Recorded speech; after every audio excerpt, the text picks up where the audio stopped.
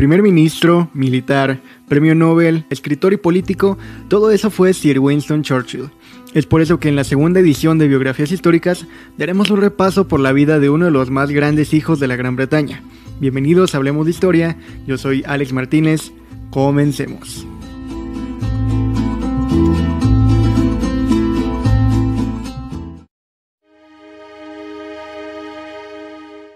Winston Leonard Spencer Churchill nació un 30 de noviembre de 1874 en el Palacio de Blenheim en Oxford, Inglaterra hijo de Lord Randolph Churchill y la estadounidense Jenny Jerome. Su niñez transcurrió en internados escolares, incluyendo el Headmaster House de Harrow School, aunque no progresó mucho en este. Era castigado por su deficiente trabajo y su falta de dedicación. Tenía una personalidad independiente y rebelde. No logró alcanzar muchos méritos a nivel académico, suspendiendo diversas materias, excepto matemáticas e historia, en las cuales con frecuencia estaba colocado entre los mejores alumnos. En septiembre de 1863, después de tres intentos, ingresó en la Real Academia de Sandhurst y en diciembre de 1894 se graduó, siendo el octavo entre los 150 de su generación.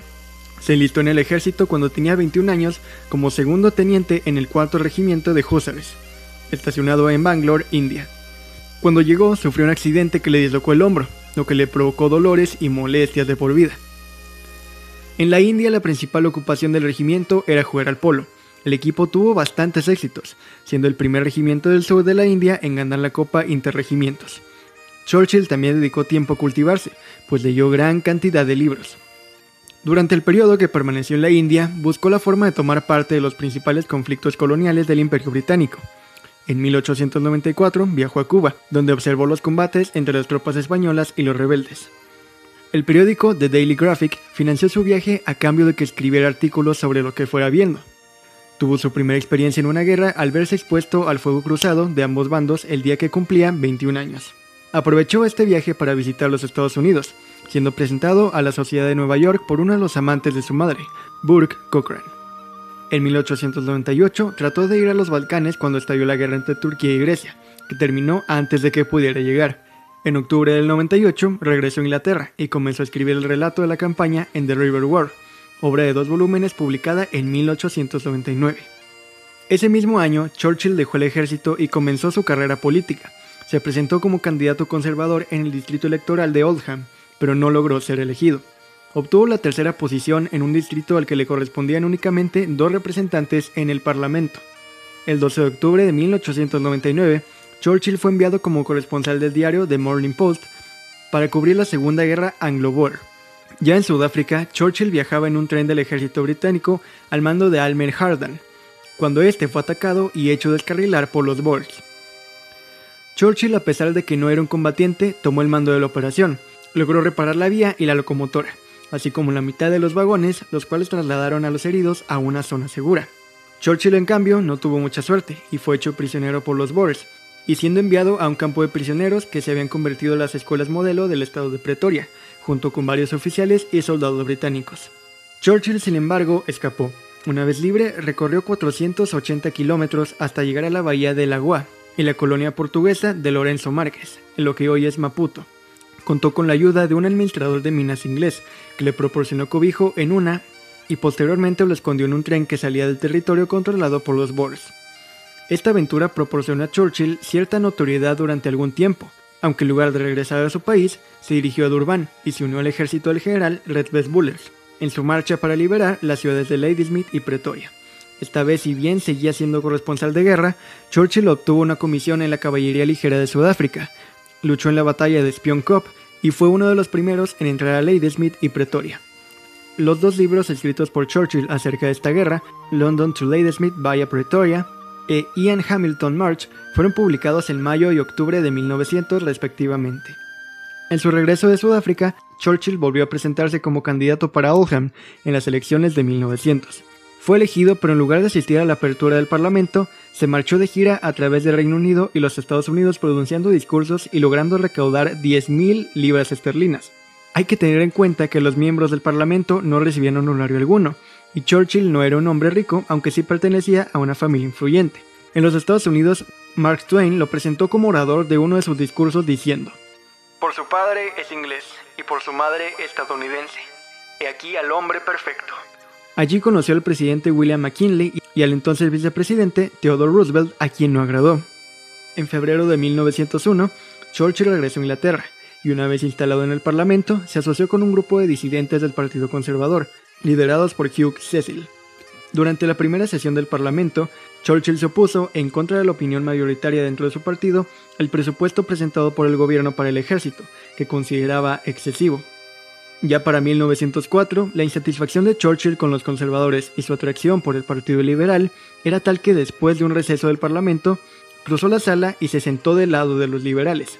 Como liberal, siguió haciendo campaña para lograr eliminar las tarifas arancelarias y encaminar a los países occidentales hacia una política de mercado libre.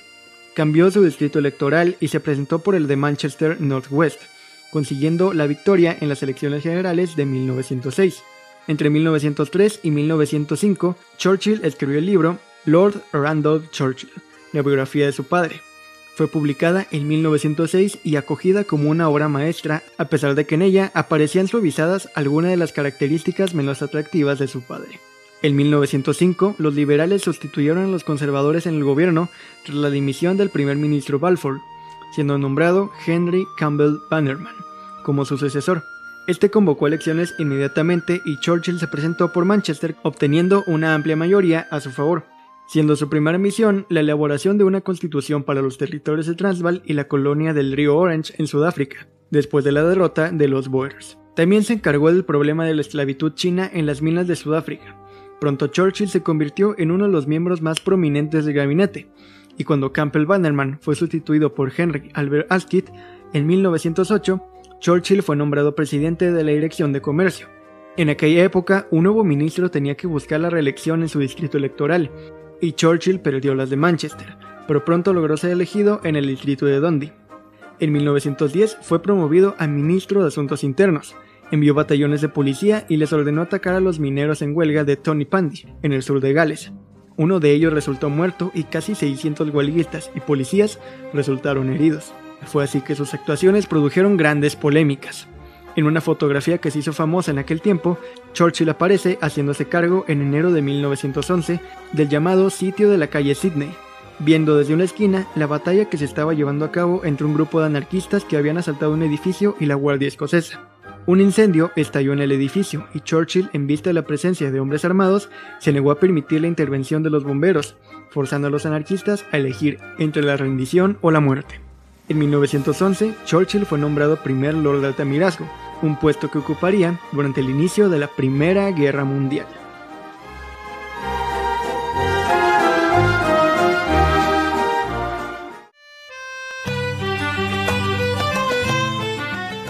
En 1915, como primer Lord de Altamirasgo, tuvo que enfrentarse con el caso del hundimiento del RMS Lusitania, que generó fuertes controversias. Existen documentos cuyos detalles han señalado, según ciertos historiadores, que Churchill podría haber sido negligente al dejar al barco sin escolta, lo que habría propiciado el hundimiento de este navío con el fin de hacer entrar a Estados Unidos en la guerra. Sin embargo, otros historiadores dudan de esta teoría, puesto que una entrada prematura de Estados Unidos habría privado a los británicos de los convoys de aquel país. Estos serían suspendidos durante cierto tiempo, ya que los estadounidenses no habían desarrollado lo suficiente su industria de guerra como para poder hacer frente al mismo tiempo a las necesidades británicas y a las suyas en 1915. Ese mismo año, su campaña como Lord de comenzaría a terminar, pues en la batalla de Gallipoli sufrió un duro revés. La toma de esta península suponía tener el control del estrecho entre el mar Egeo y el mar Mámbara, que conectaba con la capital de Turquía, y este a su vez con el mar Negro y los rusos. Aunque la ofensiva se impulsó verdaderamente por el interés británico por acabar con el Imperio Otomano, esta se planteó como medio de ayuda a su aliada Rusia, ya que a partir del otoño de 1914 se había cerrado el estrecho del Bósforo y los Dardanelos al tráfico marítimo, lo que impedía a Francia y Gran Bretaña suministrar armas a Rusia. Ante esto, Churchill propuso una ofensiva el 19 de febrero de 1915 que apenas duraría, según él, unas horas. No obstante, la operación naval no tomó por sorpresa a los turcos y fracasó en el primer intento. De forma que mientras las fortalezas y defensas artilleras otomanas quedaron prácticamente intactas, gran parte de la flota anglo-francesa se fue a pique debido a las minas estratégicamente colocadas, y así los aliados fueron incapaces de acercarse a la entrada de la embocadura. Las campañas continuarían hasta enero de 1916, aunque se tiene constancia de que el 18 de marzo el entonces general Ian Hamilton, jefe de la Fuerza Expedicionaria del Mediterráneo, telegrafió a Londres advirtiendo la derrota. Tras ello la estrategia cambió, se pasó del bombardeo naval al desembarco de tropas, principalmente australianas, neozelandesas y británicas. De este modo, la contienda se reinició el 25 de abril y duró los próximos nueve meses, aunque de igual manera que en la primera ofensiva realmente estaba perdida desde el primer momento. Los aliados apenas pudieron avanzar unos kilómetros y al final la batalla se convirtió en una guerra de trincheras sin sentido hasta que los aliados abandonaron la batalla medio millón de muertos después. La retirada de tropas también supuso el cese de Churchill como primer lord del Altamirasgo. Gallipoli le perseguiría el resto de su carrera política, aunque él siempre defendió que había sido víctima de una conspiración política y que altos cargos en Gran Bretaña y Francia no habían proporcionado todas las tropas solicitadas para el ataque. De igual manera, en diciembre del 16, Henry Asquith renunció como primer ministro y fue reemplazado por Lloyd George. Sin embargo, todavía no se consideraba prudente el traer de regreso al gobierno a Churchill, aunque en julio de 1917 fue nombrado ministro de armamento. Al finalizar la Primera Guerra Mundial, Churchill ocupaba las carteras de ministro de guerra y ministro de aire. Durante este periodo trató de reducir considerablemente el presupuesto militar, sin embargo, su principal preocupación fue la intervención de los aliados en la guerra civil rusa. Churchill era fuertemente partidario de ello, indicando que la causa de los bolcheviques debía ser estrangulada en su cuna. Se aseguró el aumento y prolongación de la participación británica en este conflicto, aun cuando existían serias divergencias en el gabinete y una mayoría opuesta en el Parlamento y en la población. En 1920, cuando las fuerzas británicas se retiraron, Churchill se las arregló para enviar armas a los polacos cuando estos invadieron Ucrania. En 1921 fue nombrado ministro de colonias.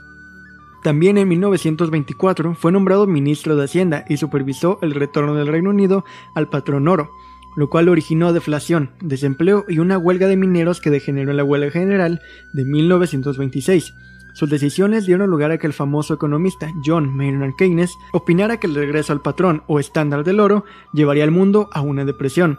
Churchill más tarde consideró que esa había sido una de las peores decisiones que había tomado en su vida. El gobierno conservador fue derrocado en las elecciones generales de 1929. Churchill se convirtió en un disidente de su partido en relación a las tarifas de protección arancelarias y la autonomía de la India. En 1931, Ramsay MacDonald formó el gobierno nacional y Churchill no fue invitado a participar en él. En esta época atravesó el punto más bajo de su carrera, muy en especial cuando con motivo de la polémica de la relación entre el rey Eduardo VIII y Wally Simpson, Churchill no siguió la corriente de pedir la abdicación y les defendió a capa y espada. Pronto dirigiría su atención hacia Adolf Hitler y el peligro del rearme de la Alemania nazi. Por algún tiempo fue el único que denunció dicho rearme y abogó por la necesidad de fortalecer militarmente a Gran Bretaña. Su principal preocupación fue evitar que Alemania obtuviera la superioridad en la Fuerza Aérea, que desgraciadamente consiguió en 1938 a pesar de las advertencias de Churchill. En aquellos años, alejado de la vida partidista y debido a sus contactos con militares y cargos relevantes de la administración, llegó a estimar que Alemania estaba gastando 1.500 millones de libras al año en armamento, estimación que posteriormente se demostró muy cercana a la realidad. Churchill no pudo más que observar con desaliento cómo la política de Neville Chamberlain estaba haciendo agotar las únicas posibilidades de evitar una guerra en Europa. Frente a las pretensiones de Mussolini en Etiopía, el gobierno británico se mostró firme en advertir a Italia de sus consecuencias apoyado por la Liga de Naciones, pero a la hora de la verdad, la Liga de Naciones no impuso ningún tipo de sanciones y mucho menos ninguna medida militar. Hitler observó el acontecimiento y Mussolini, el cual recelaba del germano por sus pretensiones en Austria, decidió unirse a su causa en contra de las democracias europeas. Hitler a continuación ocuparía el corredor del Rin, que años antes Francia había desocupado como gesto de buena voluntad. Ante la pasividad de Francia y el Reino Unido, Hitler lo intenta en Austria, y aunque un primer intento de golpe de Estado para derrotar al canciller austriaco fracasa, por fin en 1938, Hitler consigue la ocupación del país ante la incredulidad de las demás potencias. Hasta ese momento Churchill aún cree posible evitar la guerra, pero Hitler pone sus ojos en los sudetes de Checoslovaquia, y ante estas pretensiones la Unión Soviética propone un acuerdo a Francia y Reino Unido para unirse en contra de Hitler si lo intenta. Esta oferta no es escuchada por ambas potencias a pesar de las simpatías de Churchill a esta idea, pero Francia cree suficiente el acuerdo con Checoslovaquia de actuar en caso de invasión, y ni Polonia ni Rumania estaban dispuestas a dejar pasar tropas soviéticas por sus territorios. Chamberlain, en un intento para evitar lo peor, viaja a Múnich y consigue arrancar de Hitler un acuerdo de renunciar a cualquier otra pretensión territorial en Europa a cambio de que el gobierno de Praga reconozca un régimen de autonomía para la región de los Sudetes de mayoría alemana. Chamberlain regresa a Londres exhibiendo el acuerdo y declarando que era un acuerdo de paz para una era. Fue entonces cuando Churchill reprochó a Chamberlain. Se le dio a elegir entre la guerra y la deshonra. Eligió la deshonra y tendrá la guerra. Los acontecimientos se precipitaron. El presidente de Checoslovaquia entiende que Francia no acudirá en su ayuda. Polonia y Hungría presentan similares pretensiones territoriales a los alemanes en otras zonas del país. El presidente del gobierno checoslovaco dimite y el ejército se disuelve, con sus más de 30 divisiones que habrían contenido un ataque alemán. La Unión Soviética toma nota y no ve más salida que un acuerdo con Alemania para garantizar su integridad territorial ante la inoperancia y falta de consideración de Francia y Reino Unido. Por si fuera poco, Hitler, lejos de renunciar a sus pretensiones territoriales, no solo ocupa los Sudetes, sino que pone sus ojos en Polonia. A Chamberlain no le queda más remedio que advertir a Hitler que si Alemania invade Polonia, el Reino Unido le declararía la guerra, y Francia lo secunda. Pero como todos sabemos, Hitler invade Polonia el 1 de septiembre de 1939 y tres días después, pasadas las 11 de la mañana en Londres, Neville Chamberlain anuncia oficialmente que el Reino Unido inicia hostilidades y la Segunda Guerra Mundial da comienzo en Europa.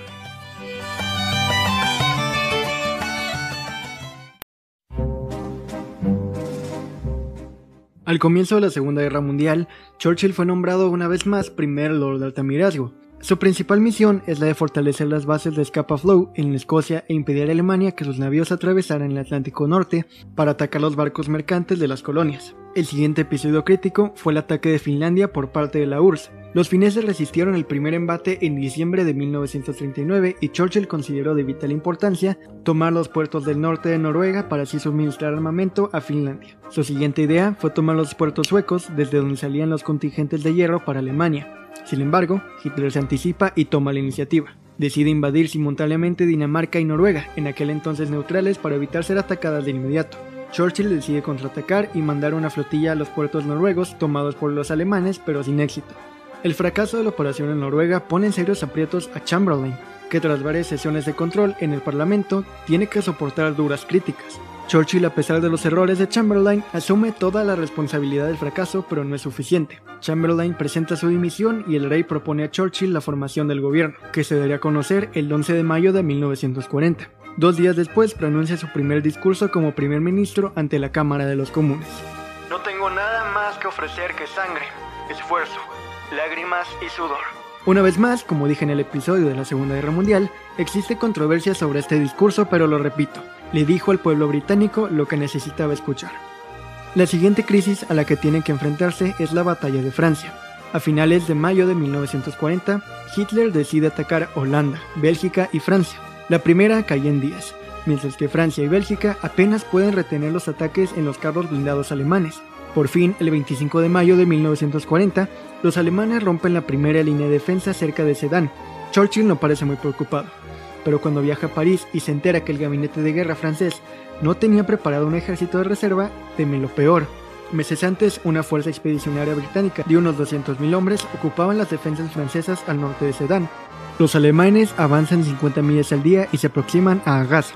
El gabinete de guerra francés propone la idea de que los ejércitos al norte de la brecha alemana se muevan hacia el sur para encontrarse con los alemanes para retenerlos mientras las divisiones francesas en el centro y sur del país se moverían hacia el norte para atacar a los alemanes por el flanco sur. Sin embargo, las divisiones francesas ni siquiera se reorganizan. La fuerza británica se encuentra atrapada en el momento que los alemanes llegan al mar tomando Boulogne. Churchill acepta la idea de retroceder a Dunkerque y ser evacuados abandonando todo el equipo. Inmediatamente se dan órdenes de que todos los barcos disponibles en el canal viajen a Dunkerque por si fuera necesario evacuar al ejército británico. Los ingleses aún confiaban en contener a los alemanes a la espera de las divisiones francesas, pero todo se complica cuando a los pocos días los alemanes invaden por completo Bélgica y rompen el frente de Ostend. Los británicos están totalmente rodeados y no les queda más remedio que utilizar el último recurso, A pesar de la humillación, los franceses rodeados en Lille atacan a los alemanes para mantenerlos ocupados e impedir que más divisiones ataquen a los ingleses. Más de 250.000 soldados entre británicos, franceses y belgas consiguen ser evacuados en apenas 48 horas. Churchill, aliviado, ve cómo es posible recomponer al ejército británico no solo para su defensa, sino también para volver a liberar Europa. Pese a que grandes porciones de Europa y estados antiguos y famosos han, han caído o pueden caer en las, las terribles garras de la Gestapo y de todo el odioso aparato del control nazi. No hemos de flaquear ni quebrarnos. Hemos de continuar hasta el final.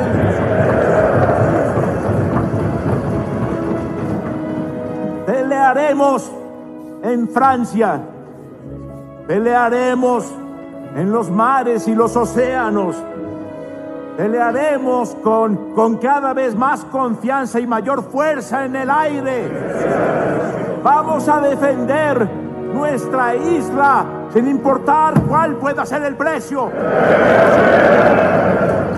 Lucharemos en las playas, lucharemos en las pistas de aterrizaje, lucharemos en los campos y en las calles, lucharemos en las colinas. Nunca vamos a rendirnos.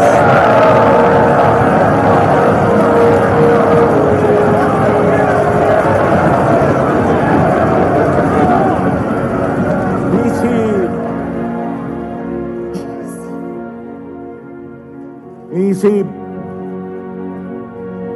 lo que no, no creo ni por un momento, esta isla o gran parte de ella se, se viera subyugada y famélica, entonces nuestro imperio, allende los mares, armado y guardado por la flota británica, continuaría con la lucha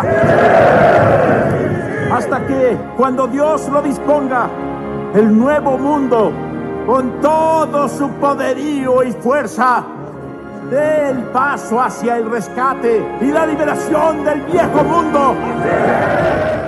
Churchill logró levantar la moral del ejército y el pueblo, debido a su gran carisma y su enorme habilidad como político. Logró que los británicos lucharan sin dar, en sus propias palabras, un preciado palmo de tierra.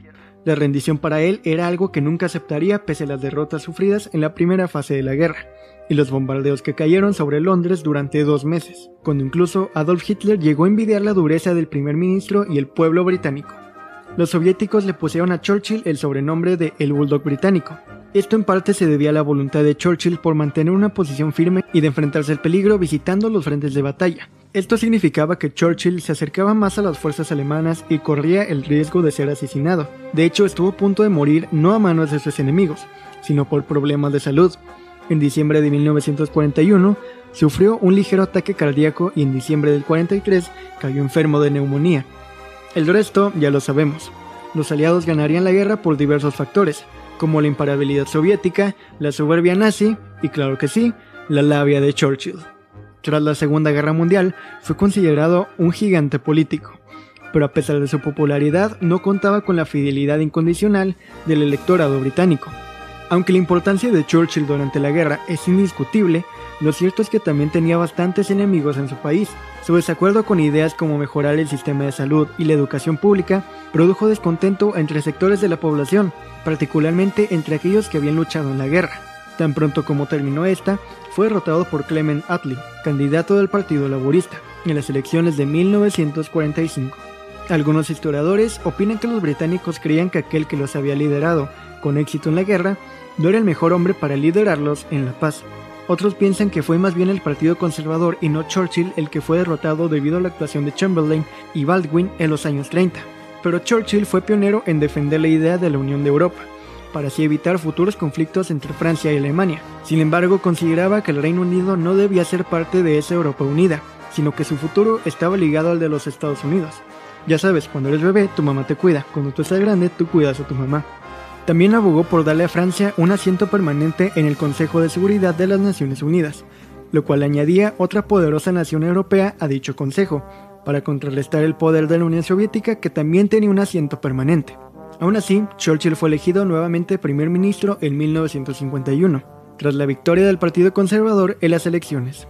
Durante este tiempo renovó lo que él mismo denominó la relación especial con los Estados Unidos y trató de inmiscuirse en la formación del orden de la posguerra. Sin embargo, hay que decirlo, en cuestiones raciales Churchill era todavía un victoriano. Trató en vano de restringir la llegada de inmigrantes del oeste de la India. En sus propias palabras, mantener Gran Bretaña blanca sería un buen eslogan, dijo al gabinete en enero de 1955.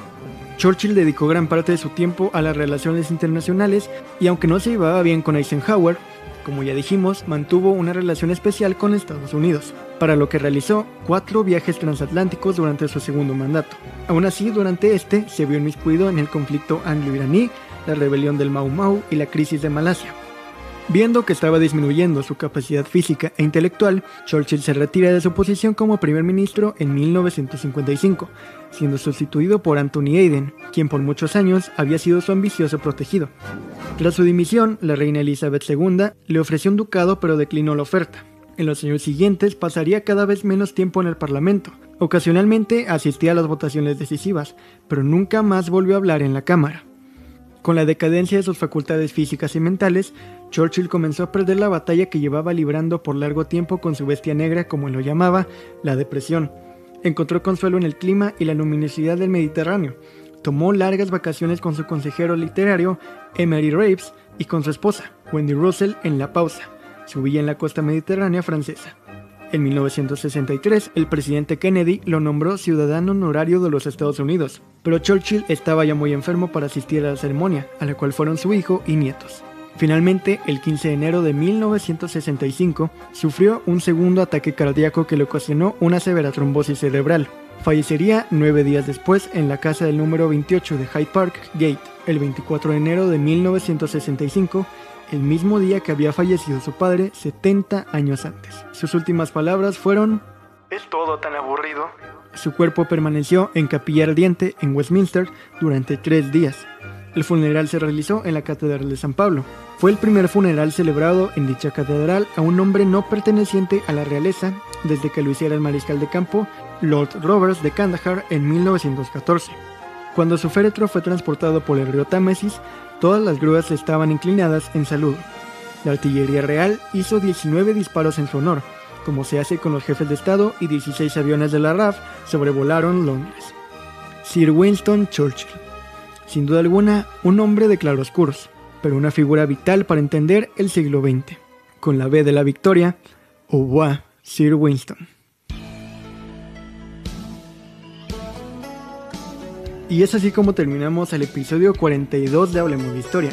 Espero que te haya gustado, te hayas entretenido aprendido algo nuevo y me gustaría que no terminaras de oír este capítulo sin que le dieras seguir en Spotify o suscribirte en Google y Apple Podcast o en YouTube. Es totalmente gratis y así te mantienes hablando de historia con tus compas y familiares. De la misma manera, me gustaría agradecerte por formar parte de este proyecto que día a día crece un poquito más gracias a algo tan simple como que escuchas este u otro capítulo. Así que muchas, pero muchas gracias, sensual e histórico escucha. Y ahora sí, es momento de despedirnos amigos, ya saben que yo soy Alex Martínez, síguenos en Instagram como arroba Hablemos Podcast, podcast con doble T, y Facebook como Hablemos de Historia. No olvides lavarte las manos, hacer tu tarea, hablar de historia y cuidar el planeta. Esto fue palabra de Winston Churchill.